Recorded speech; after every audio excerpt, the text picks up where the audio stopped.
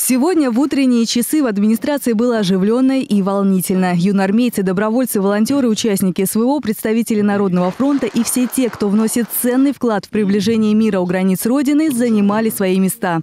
Жители Бийска неравнодушны к СВО, регулярно собирают тонны гуманитарного груза и отправляют в зону конфликта.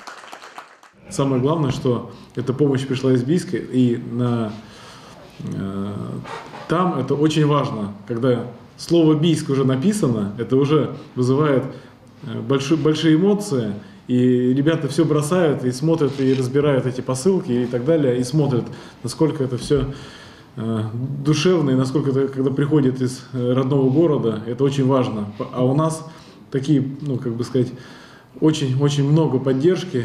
В начале мероприятия отметили наградами юноармейцев, которые заняли первое место на региональном этапе конкурса «Победа». На протяжении двух дней соревнования проходили в нашем городе воинской части. Впервые за 8 лет команда города Бийска, краевого отряда «Атаман» имени Алексея Соколова при воинской части 31466 стала победителем регионального этапа. И победой стало то, что они едут у нас э, в начале июля, первой недели июля, э, на всероссийскую игру «Победа». Прославляют город не только юные жители, но и те, кто на передовой. Медалью специальной военной операции был награжден наш боец.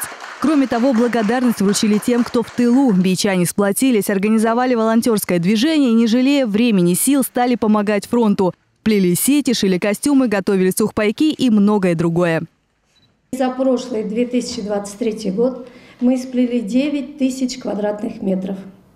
На сегодняшний момент, на 1 мая, за 2024 год, мы уже сделали более 9 тысяч квадратных метров. Мы открыли два пошивочных цеха. Сейчас у нас поступают заказы от бийских воинских частей. Мы уже сшили более 100 костюмов. Единение и помощь неравнодушных отметил и представитель правительства Алтайского края в ЛНР Юрий Проскурин. Он рассказал, что лично провожал в бой ребята из Бийска и как важна им наша поддержка. Вообще, когда я первый раз э, оказался там, в Луганской Народной Республике, а большую часть времени э, за эти два года там нахожусь, время от времени сюда приезжая, я вообще первый раз э, увидел ребят именно из города Бийска, вот, военнослужащих, которые э, с самых первых э, дней принимали участие в специальной военной операции. И причем это был такой, знаете, такая была ситуация, когда ребята уходили в бой.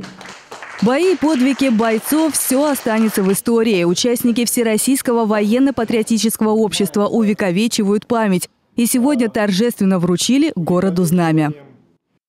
Всей нашей геройской истории, событий, э, людей, героев. Э, это общественно-государственная организация, учредители Министерства обороны и Министерства культуры Российской Федерации. Поэтому вот теперь э, свое знамя будет и в городе Бийске. Абийскому краеведческому музею Юрий Проскурин привез с поля боя гранатомет, который пронизан осколками.